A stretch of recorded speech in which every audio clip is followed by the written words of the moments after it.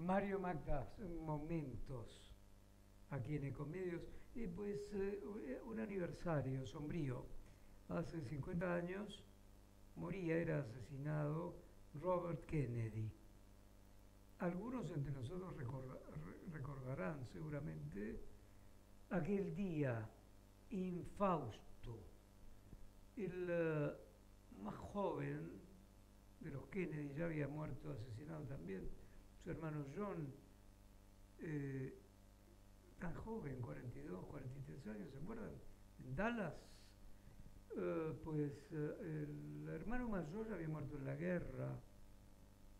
Y una, una familia rica, de origen irlandés, muy rica, y mm, católica.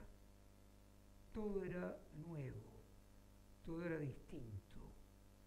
La fortuna, la manera, el carisma.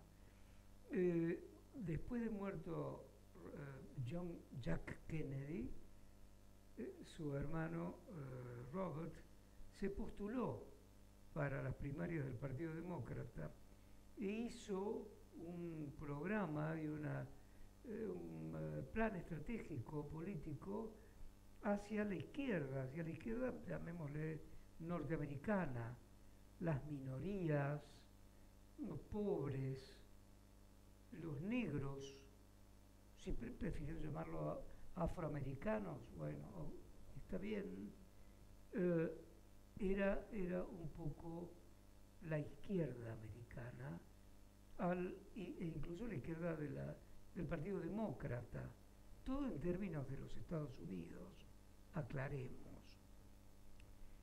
Había eh, llegado triunfante a Los Ángeles, luego se iba a dirigir a Chicago, ya prácticamente lo tenía a, la posibilidad, al triunfo en la mano, se acercó en un acto público, saludó, rodeaba, rodeado de, custodios, algunos de ellos eh, jugadores de rugby americano que lo acompañaban allí, policías también.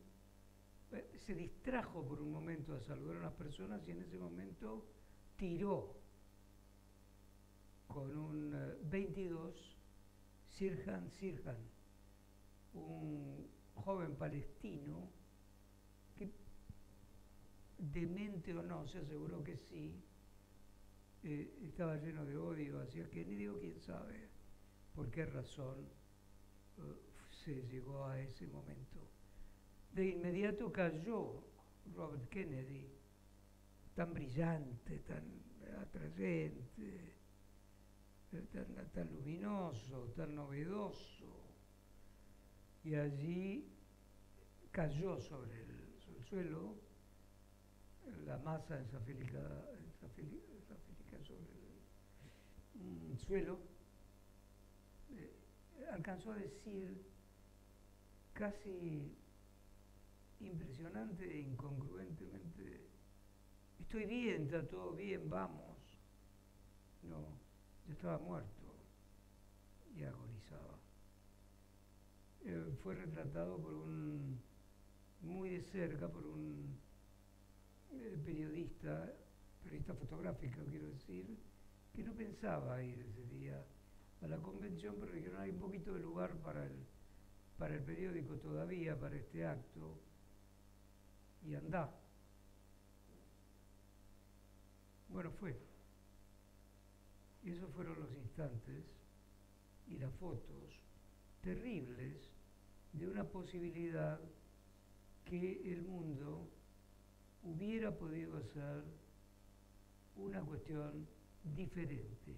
Pero eh, lo conjetural en materia de historia vale poco. Hace 50 años murió Robert Kennedy.